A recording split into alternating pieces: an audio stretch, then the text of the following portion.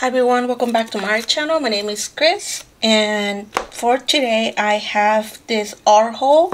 Now if you have been watching my channel then you know that I haven't been recording for the past five months or something like that. That's because I uh, became a second grade teacher and pretty much all of my time was spent at school planning, teaching and doing all that stuff. So this haul, it actually happened throughout all those five months. Um, I went to this store in San Francisco. It's called Flax Art Supplies. Then I got something from um, Jackson's. Then I got something from Da Vinci, um, Da Vinci paints. Then I got some stuff from Amazon. So basically from all over the place. Um, like I mentioned, I have been collecting them now for the past five months. To be honest, I didn't have a lot of time to do a lot of art while I was teaching. Right now, I am I'm on summer vacation, and hopefully next school year I get to teach again. But let me start by showing you everything that I got. These guys, I got them at a art art fair or art yeah art fair that happened last week in San Francisco. Uh, but I talked about this uh, brand before case uh, case for making which is a handmade company in San Francisco. So let me start by showing you the stuff that I got from Da Vinci. Um, let me move all of this aside. So I got three things from Da Vinci. One well first oh my goodness I'm so sorry I'm a little frazzled if you haven't noticed just because I'm rusty at filming. And you know I wish I had more time to do art while I was teaching but um, that didn't happen. But anyway so I placed this order like maybe last month. So I got two palettes and then gouache from Da Vinci. I want to try out the gouache um, I have been using the Daler uh, let me look it up. Here I've been using this the Daler Rowney gouache and I really liked it more than the Himi gouache that you can get from Amazon. So I want to try different brands to see which one I like the best. So I decided to go with the gouache from Da Vinci. Now Da Vinci, in my opinion, is a brand that is very underrated. I think they have great products um, at an affordable price. And you can definitely find more sets uh, shopping at their website versus shopping at Blick's or Jerry's. So these are the colors that I got or that came in the set. We have uh, blue, we have magenta, we have black, we have two whites, and then we have yellow light hunter. So basically it's the beginner set that you will use to um, mix. So if you are a beginner, I highly recommend you get a set with a limited palette so you could work on your color theory and mix your own colors. So I'm excited to try this. I think I can't remember what channel I saw that they mentioned that these ones are not as opaque as, as other brands so we'll see. Then let me make this aside. Then I got this watercolor palette. This one I uploaded a short where I swatched it and I pretty much unboxed it. But this is the Da Vinci palette. This is the Joyce Mother Violet palette.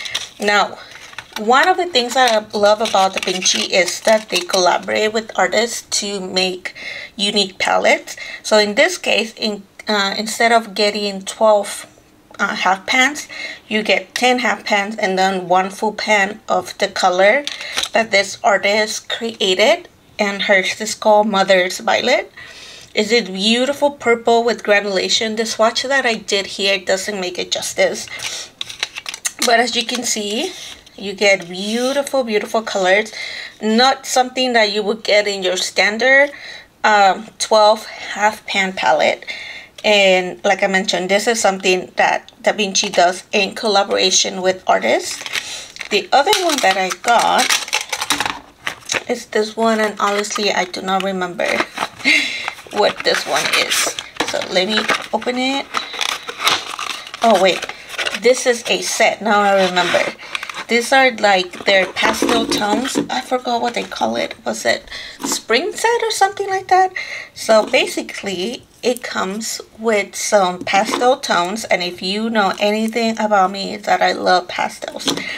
Um, so here we have, we have Sea and Sky, which is a color that I don't um, I never seen before from their line. Obviously, all of these colors, um, except for maybe the Naples yellow, are going to contain white, uh, white pigment to make it more of those uh, pastel tones. So if you don't like opaque watercolors, then this probably is not going to be for you. But we have Sea and Sky, we have Mint Green, we have Da Vinci Red Tint, we have Peach, we have lavender, and then we have Naples yellow. Um, let me see, Naples yellow.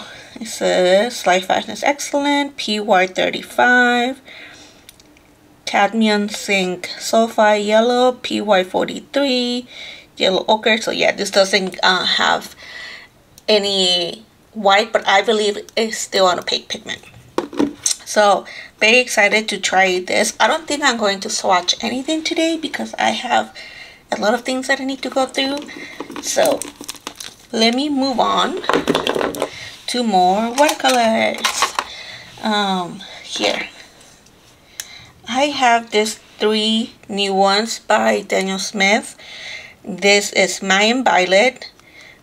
Ooh, Fuchsia, Fuchsia, Fuchsia Genuine don't know how to say it. And then Kins Royal Blue. This is part of their uh, PrimaTek line.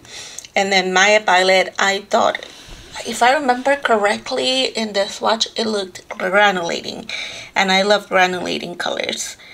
Um, and then Kins Royal Blue, uh, I don't remember why I got it, but let me see, does it have white?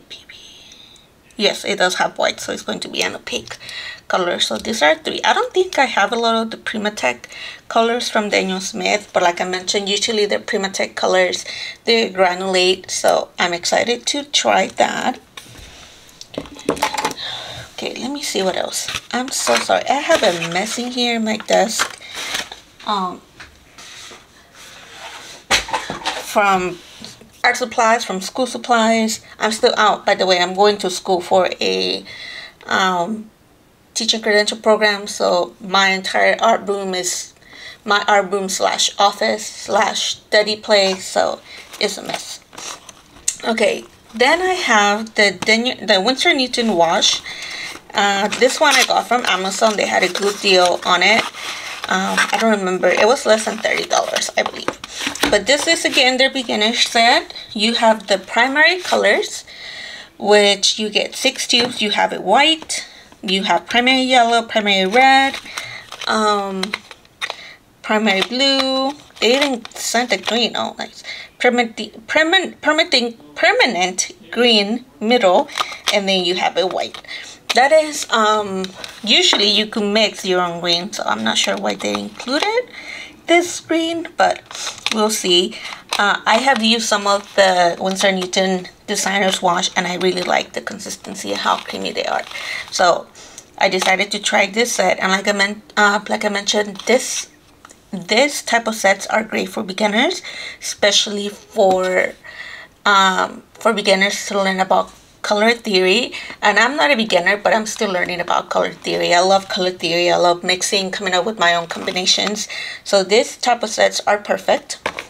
Plus also if you if you try this set and you like it then you could uh, keep investing on the Winsor Newton Designer's Gouache. Same thing with the uh, Da Vinci gouache if you try it out and you like it then you could pop potentially you could buy more colors if that's something that you liked.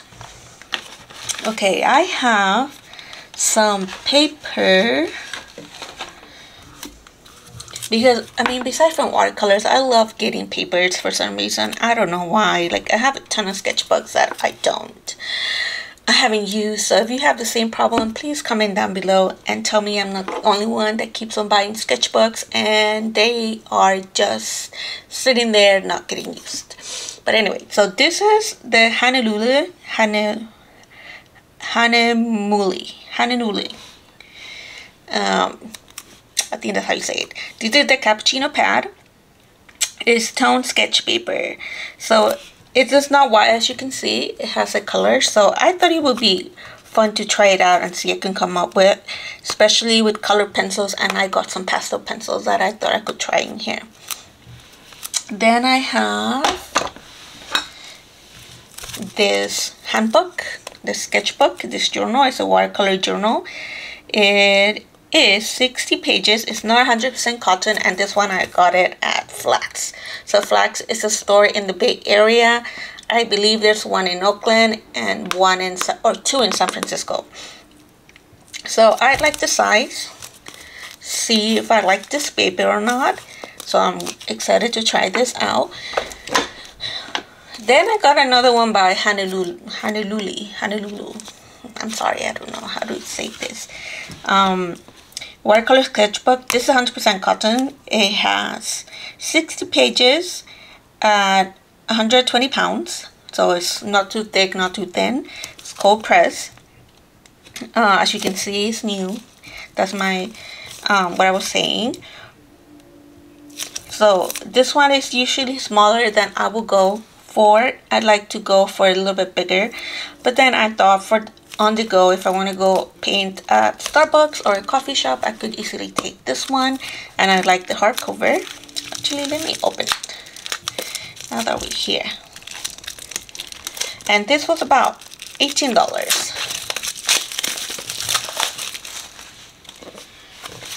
so here if we open it we take this away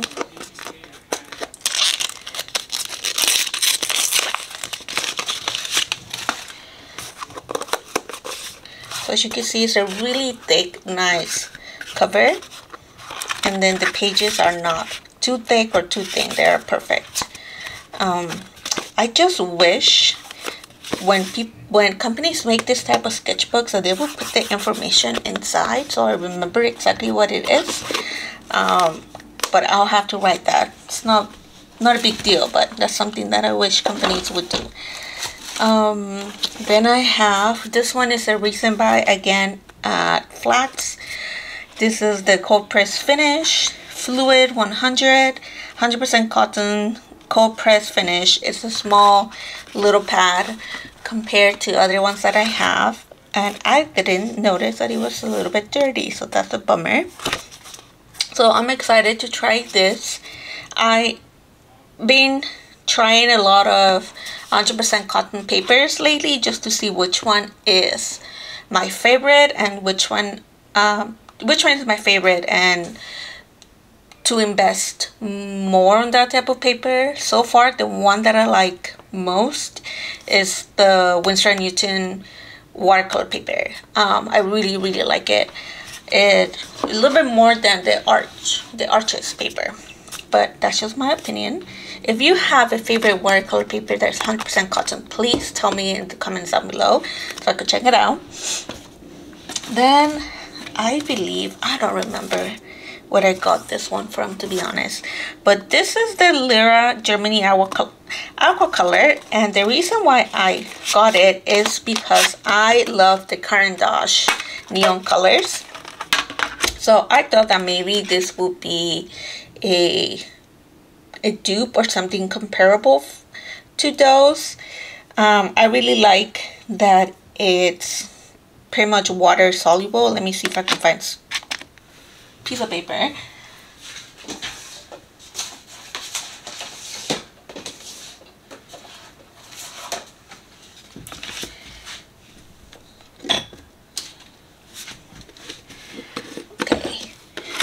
I said I was not going to swatch anything, but here I am.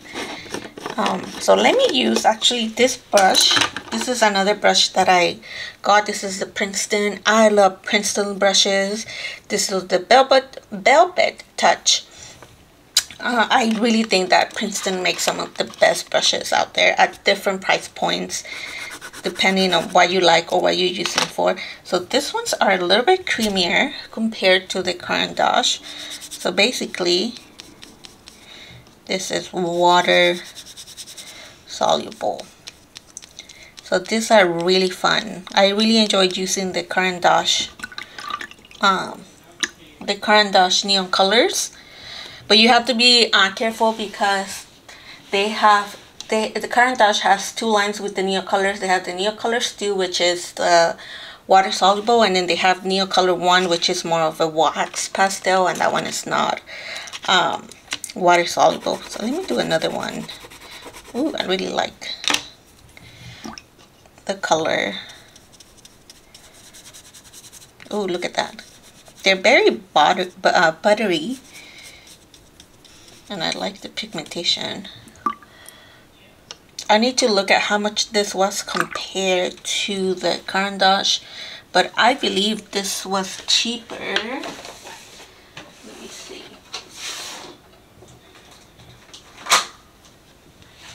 Okay, so this is a Caran d'Ache. This is a Delira. This is chunkier. This is a little bit longer. What is the... I'm wondering where is the... Like the size or the grams or whatever you measure this with. I mean, just based on this, it feels like you get more product with the Lyra. Uh, might might not be true, but I, so far with the swatches, I like how they look. Okay, moving on. Since I already introduced the brushes, so I got this one. This is the Princeton Velvet Touch and Filbert number 8. Then I got a Velvet Touch, again stroke, half an inch. And then I have a little one for details. So this is a Filbert 4. Like I mentioned, I really love Princeton brushes. They have um, they have different lines at different prices and even their afford affordable uh, brushes are really good. So if you're looking for brushes, you could definitely look into Princeton. I really like the Princeton snap brushes that you can find on Amazon. And I put some of the links down below as well as my Amazon storefront, stored, as well as my Amazon storefront where you will find some of my favorite art supplies that you could buy at Amazon. I will get a little bit of a percentage. So at no extra cost to you, but I'll get a little bit of commission.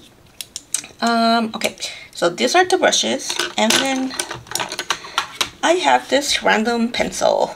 Uh, I don't even remember why I got it, but here we are. Oh, and I have one more sketchbook to show you. This tiny little one. Look at how cute. Again, by Hannah Luli. Hannah Luli. Hannah, Hannah something. Um,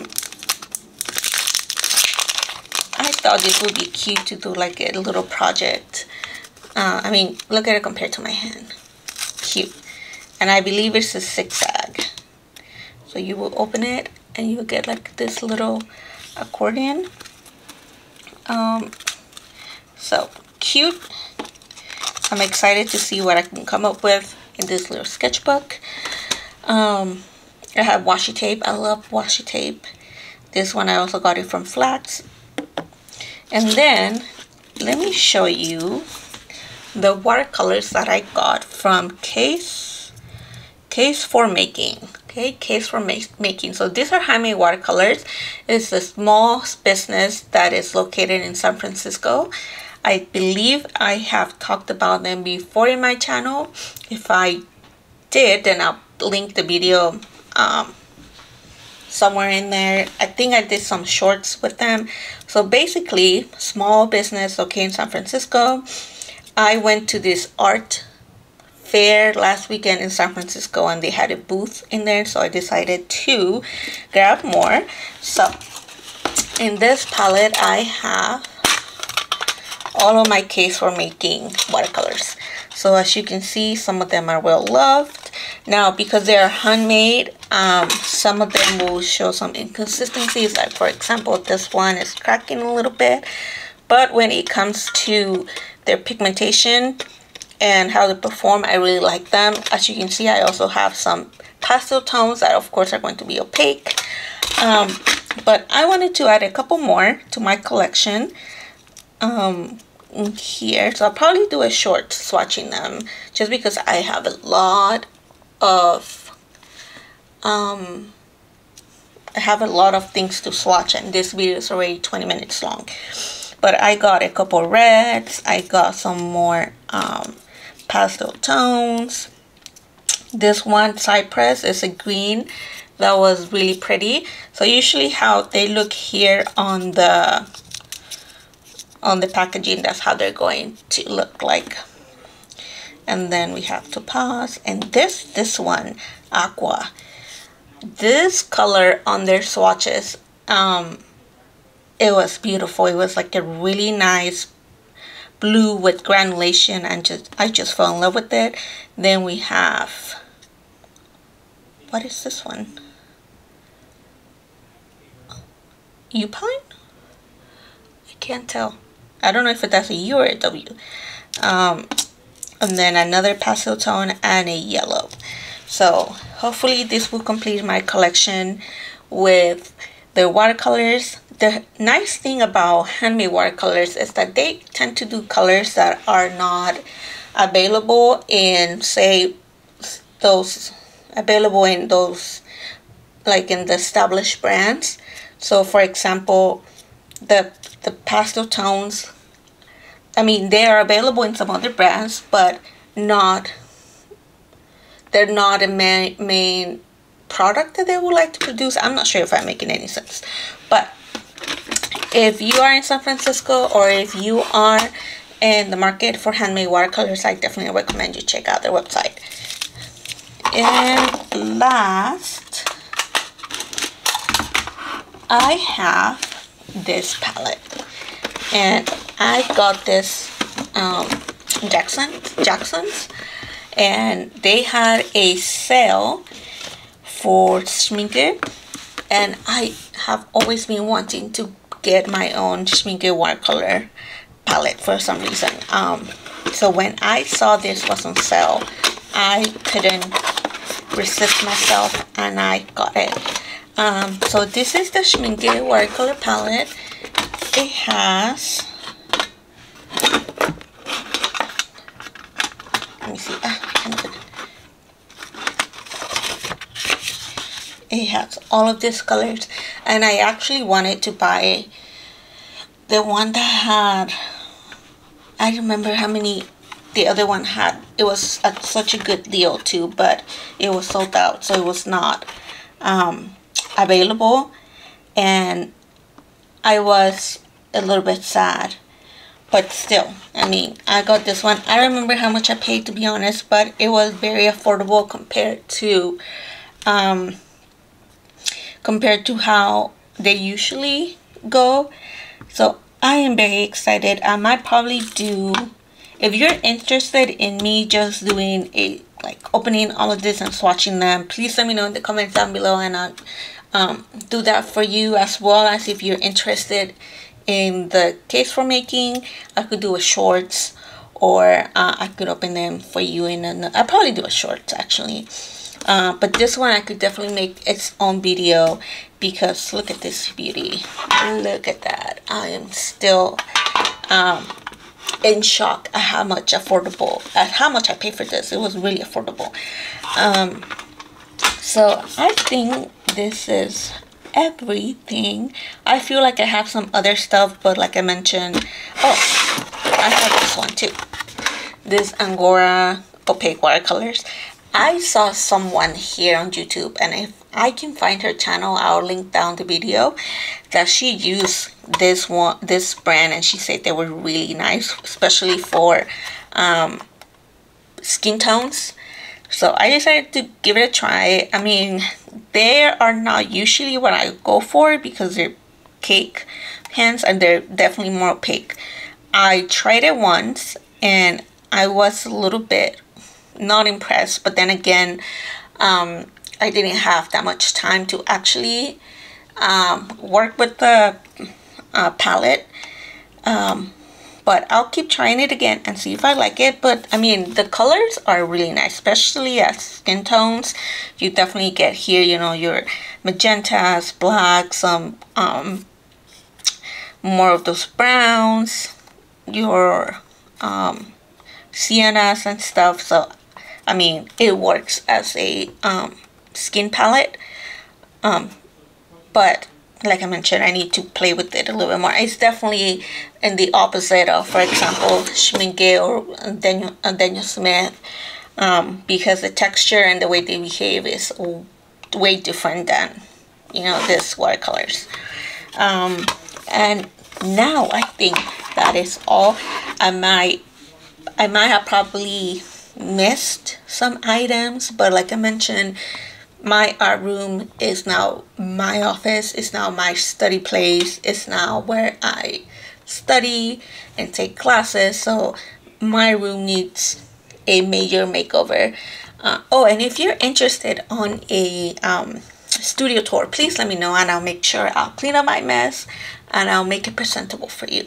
But this is all i have. Thank you so much for those of you that have been um, watching my videos even though I have not been uploading. I really appreciate you. And if you want to be part of this little community that I'm trying to build here on YouTube, please like and subscribe. And hopefully I get to post again in one video per week like I used to. So thank you so much for watching and I'll see you next time. Bye.